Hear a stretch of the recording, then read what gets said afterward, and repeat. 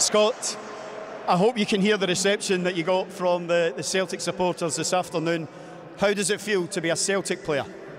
Uh, it's, it's, unbelievable. It's a great opportunity for me to join a massive club, and I'm going to try my hardest and, and be a great player for the club.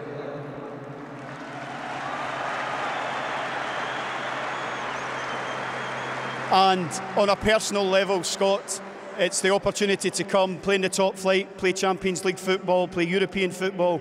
You must be very excited about the season ahead. Yeah, football terms for me uh, to come here was a no-brainer, and I just uh, can't wait to get started. Ladies and gentlemen, I think that says it all. Once again, let's welcome our newest recruit, number 19, Scott Allan!